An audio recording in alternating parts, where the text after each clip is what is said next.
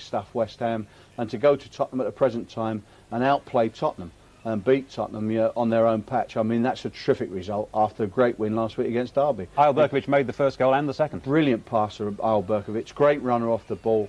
Um, and he's just an outstanding footballer. 2 0 up. Uh, Tottenham, I don't think, are going to come back